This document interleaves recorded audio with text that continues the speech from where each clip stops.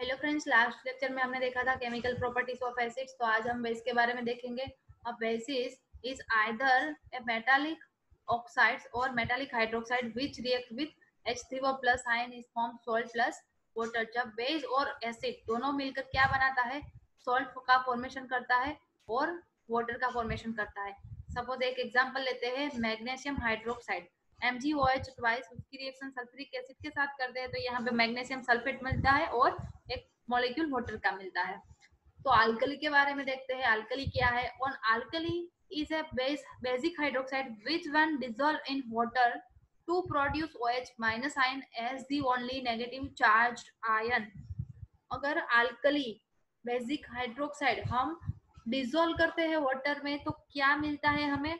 OH minus ion अगर ओ OH ion मिलता है तो हम उसको बोलेंगे अल्कली और अगर वो वाटर में डिजोल्व हो जाता है इजीली तो उसको हम बोलेंगे अल्कली जो बेस जिसकी सॉलिबिलिटी वाटर में अच्छी नहीं है इजीली सोल्यूबल नहीं होता, उसको हम अल्कली नहीं बोलेंगे. जिसकी सॉलिबिलिटी बेस में अच्छी है, उसको हम अल्कली बोलेंगे. तो यहाँ पे तीन आपको बेस दिखाया है, जिसकी सॉलिबिलिटी काफ़ी अच्छी है. वाटर में। सोडियम हाइड्रोक्साइड बोलते हैं इसको कोस्टिक सोडा पोटेशियम हाइड्रोक्साइड और इसको बोलेंगे अमोनियम हाइड्रोक्साइड यहाँ पे एग्ज़ाम्पल दिए हैं कि जिसकी सॉलिबिलिटी वाटर में अच्छी नहीं है।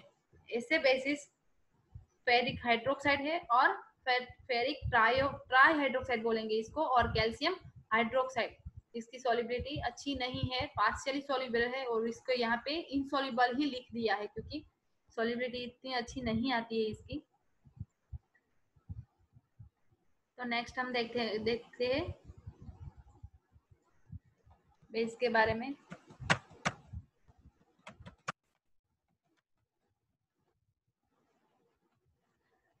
Classification of bases on the base of their strength इसकी स्ट्रेंथ के ऊपर से इसकी एसिडिटी कैसी है?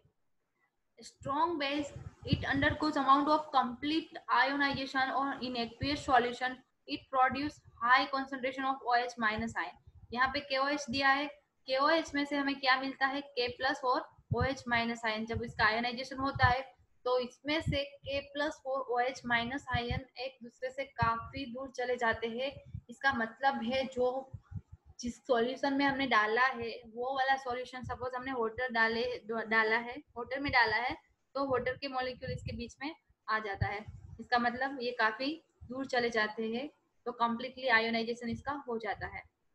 सेकेंड दिया है weak bases it undergoes only partial ionization in aqueous solution to produce low concentration of OH minus ion. यहाँ पे अमोनियम हाइड्रोक्साइड का एग्ज़ाम्पल दिया है। इसको अगर हम पानी में डालेंगे या तो कोई एक्वियस सॉल्यूशन में डालेंगे तो यहाँ पे NH4 का जनरेशन होगा और ओ एच माइनस आयन का प्रोडक्शन होगा।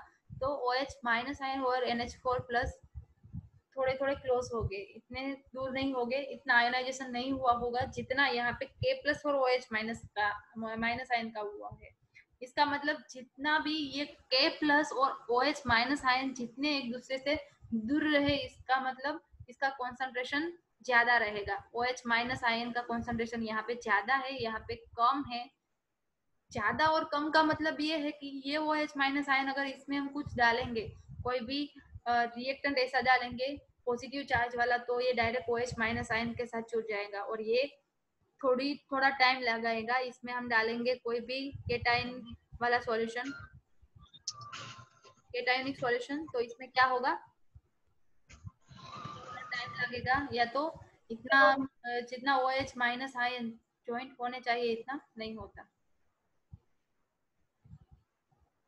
बाद में दिया है on the basis of their acidity the number of OH minus ion can be produced per molecule of base in aqueous solution is called its acidity. कोई भी solution में जितने OH देते हैं, जो OH माइनस आयन है, जितना इसका प्रोडक्शन होता है, वो प्रोडक्शन उसको हम बोलेंगे एसिडिटी यहाँ पे इसके टाइप दिखाए हैं मोनोबेसिक एसिड डाइबेसिक एसिड और ट्राइबेसिक एसिड। तो देखते हैं इसके टाइप्स मोनोबेसिक एसिड एक एग्जांपल दिया है। NaOH का अगर हम पानी में डालते हैं NaOH को तो क्या बनता है यहाँ पे? Na प्लस बनता है और OH माइनस बनता है। मीन्स इसका आयोनाइजेशन होता है। तीन एग्ज़ाम्पल है एनएच के ओ एच और एनएच फोर ओ एच यहाँ पे एनएच फोर होगा। और क्या दिया है इसमें?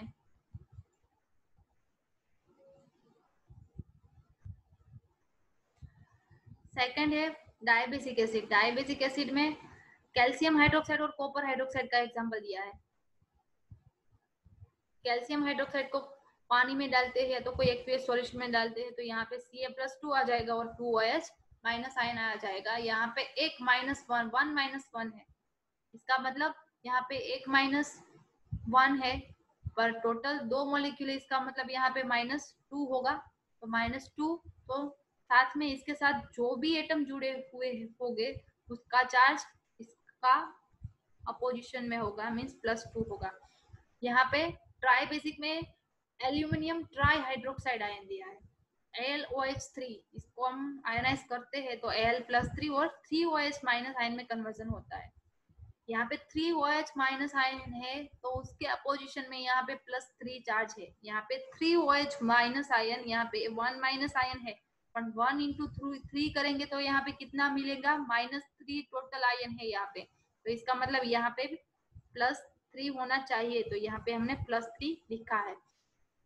क्या कहा है इसमें? मोनोबेसिक एसिड है वो जो भी सॉल्यूशन हो, होगा उसमें one O H minus ion देता होगा। उसको हमने बोला मोनोबेसिक आयन मोनोबेसिक एसिड और डायबेसिक किसको बोलते हैं? कि कोई भी सॉल्ट या कोई भी बेस जो सॉल्यूशन में दो एच माइनस आयन देता होगा, उसको हम बोलेंगे डायबेसिक एसिड। और कोई ऐसा बेस के जो सॉल्यूशन में तीन ओ एच माइनस आयन देता है तो उसको बोलेंगे हम ट्राइबेसिक एसिड बाद में देखते हैं प्रिपेरेशन ऑफ़ बेसिस फ़र्स्ट है फ्रॉम मेटल मेटल में से कैसे प्रिपेयर करेंगे? कोई मेटल है, उसमें हम ऑक्सीजन पास करेंगे।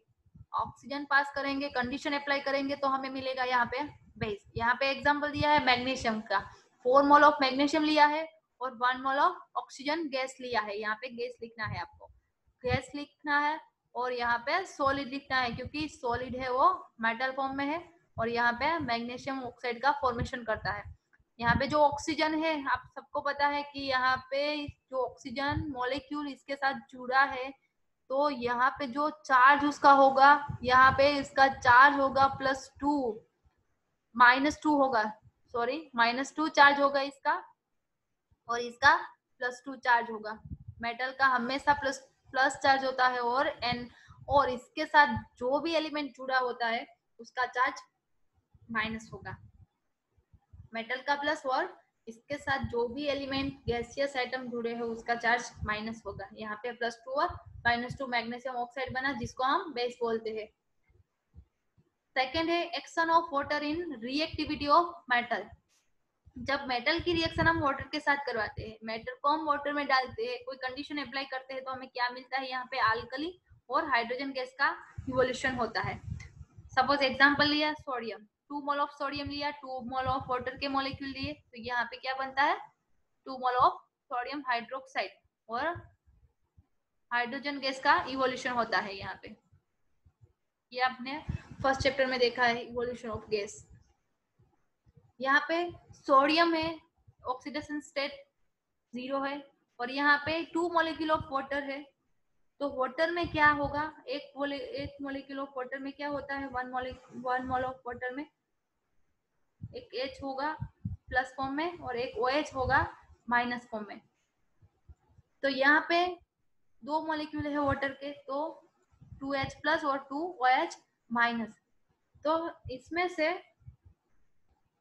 ये ओ एच माइनस आयन होगा, वो सोडियम के साथ जुड़ जाएगा मीन्स यहाँ पे बन जाएगा टू मोल ऑफ़ एनओएच और ये जो एच टू है, वो गैसियस फॉर्म में इसका इवोल्यूशन हो जाएगा। Action of water on soluble metallic oxide जब मेटालिक ऑक्साइड को हम वाटर में डालते हैं तो क्या बनता है? बेस बनता है। ये तीसरी रिएक्शन हुई और फोर्थ रिएक्शन में कहा डबल डिकम्पोजिशन रिएक्शन डिकम्पोजिशन का मतलब क्या है? टूटना मोलिक्यूल का टूटना। स्टार्टिंग मटेरियल हम जो लेते हैं स्टार्टिंग कंपाउंड जो है, यहाँ पे क्या लिया है? एफ़ तो यहाँ से वो ब्रेक होता होगा और ये उनको ब्रेक करेंगे तो यहाँ पे सोडियम और हाइड्रोक्साइड दोनों अलग हो जाएँगे। यहाँ पे जो आयरन है एफ़ है, इसका जो चार्ज है उसको चार्ज हम लेते हैं एफ़ प्लस थ्री लेते हैं इसका मतलब इसका प्लस थ्री ही नहीं होता, पर यहाँ पे क्या है? तीन क्लोराइड आयन दिया है। और क्लोराइड आयन सबको पता है कि इसका चार्ज होगा, इसकी जो वैलेंसी है वो माइनस वन में है। ये माइनस वन ही होती है, इसलिए आपको याद रखना है। ये माइनस वन एक क्लोरीन के लिए है तो तीन क्लोरीन का टोटल चार्ज कितना हुआ? माइनस थ्री हुआ। तो तीन क्लोरीन क्लोरीन पेरस के साथ जुड़े हुए हैं। तो तीन क्लोरीन का जो चार्ज है, वो माइनस थ्री है। तो ये किसके साथ जुड़ा हुआ है? फेरस के साथ जुड़ा हुआ है। तो फेरस का जो चार्ज होगा, इसके अपोजिट फॉर्म में होगा। मीन्स यहाँ पे माइनस थ्री है तो यहाँ पे प्लस थ्री होगा। तो यहाँ पे हम प्लस थ्री करेंगे और यहाँ पे माइनस थ्री करेंगे। सेम हियर, जब सोडियम और हाइड्रोक्साइड, सोडियम का जो चार्ज है वो प्लस वन है और हाइड्रोक्साइड का जो चार्ज है वो माइनस वन है। तो तीन तीन मोल लिए है यहाँ पे तो तीन मोल में तीन ओ एच माइनस है और तीन एन ए प्लस है। तो तीन ओ एच माइनस आयन, इसका मतलब क्या है? ये तीन ओ एच माइनस आयन इसके साथ जुड़ सकता है क्योंकि इसको तीन माइनस आयन की ज़रूरत है। तो तीन ओ एच माइनस आयन क्या करेगा? इसके साथ जुड़ जाएगा और यहाँ पे बना लेगा फेरिक ट्राई हाइड्रोक्साइड और जो बचा थ्री एन ए प्लस यहाँ पे जो थ्री एन ए प्लस है, वो किसके साथ जुड़ेगा? थ्री सी एल माइनस के साथ। तो यहाँ पे बन गया three N A C L fifth reaction है by action of oxygen on metal sulphoxide जब ऑक्सीजन की रिएक्शन जिंक सल्फाइड के साथ करते हैं। तो क्या बनता है? यहाँ पे जिंक ऑक्साइड बनता है, जिसका नेचर होता है बेस, और यहाँ पे sulphur dioxide as a gaseous form में इवोल्यूशन होता है इसका। बाद में सिक्स रिएक्शन है बाय डीकम्पोजिशन कोई भी मॉलिक्यूल है, उसका डीकम्पोजिशन हम करेंगे। तो क्या मिलेगा यहाँ पे? कैल्शियम कार्बोनेट है, उसका हम डिकम्पोजिशन करते हैं तो यहाँ यहाँ पे हमें मिलता है कैल्शियम ऑक्साइड और कार्बन डाइऑक्साइड। तो कैल्शियम ऑक्साइड और कार्बन डाइऑक्साइड कार्बन डाइऑक्साइड वो गैस है, इसका इवोल्यूशन हो जाएगा, और कैल्शियम ऑक्साइड होगा, कैल्शियम ऑक्साइड होगा वो बेस है, वो हमें पता है। सेवंथ रिएक्शन है अमोनियम हाइड्रोक्साइड अमोनियम हाइड्रोक्साइड को हम पानी में डालते हैं तो क्या होता है? इसका पहले आयोनाइजेशन होगा। आयोनाइजेशन मीन्स यहाँ पे H2O है। एच टू ओ है। वो H2O में से H2O में क्या होगा? एक एच प्लस होगा और एक OH माइनस होगा। एक OH प्लस OH माइनस और एक एच प्लस क्या करेगा? H प्लस अमोनिया के साथ जुड़ जाएगा। ये जो अमोनिया है, इसके साथ जुड़ जाएगा। तो यहाँ पे क्या बनेगा? NH NH फोर प्लस, ये जो प्लस चार्ज है, किसका हमने लिखा एक H प्लस एक्स्ट्रा इसके साथ जुड़ा है, इसका लिखा है। और जो ओ OH माइनस आयन अभी सॉल्यूशन में है, वो भी इसके साथ जुड़ जाएगा। पर इतना बॉन्डिंग स्ट्रॉन्ग नहीं होगा। इसलिए ये जो बेस है, इसको हम बोलते हैं विक बेस जो हमने आगे देखा है कि अमोनियम हाइड्रोक्साइड विक बेस है।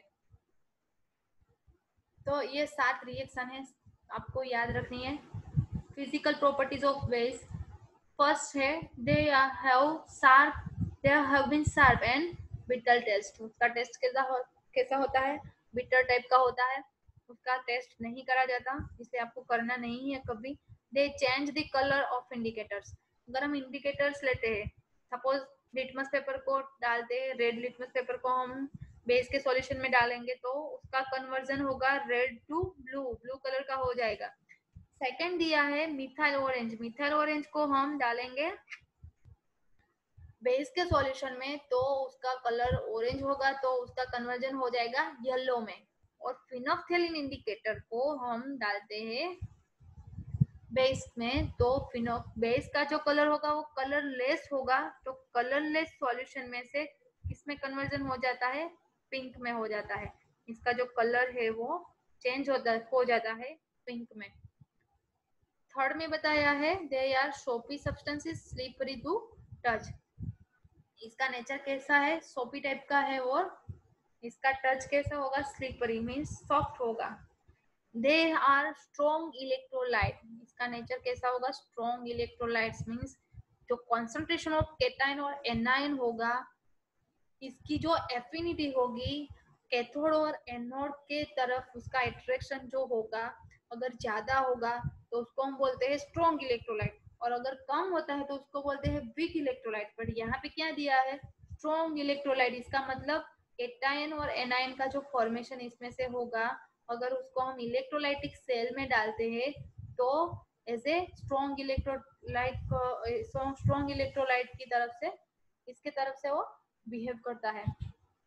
यहाँ पे किया है फिफ्थ जो पॉइंट है उसमें करा, कहा है कि माइल्डली कोरोसिव ऑन स्किन इस वो जो बेस है, अगर स्किन पे पड़ता है, अगर हम स्किन पे वो वाला सॉल्यूशन हमारे स्किन पर टच होगा तो वो ज़्यादा इफ़ेक्ट नहीं करता। माइल्डली कोरोसिव है।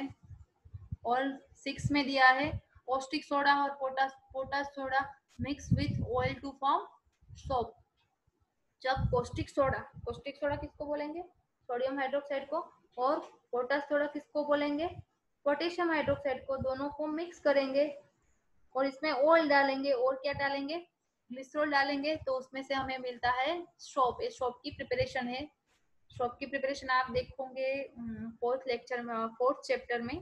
इसमें काफ़ी सारा शॉप के बारे में बताया है।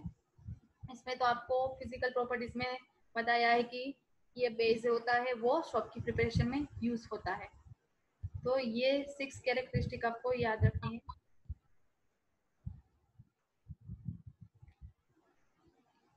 ओके okay, तो आज के लेक्चर में इतना ही है। Thank you so much for watching it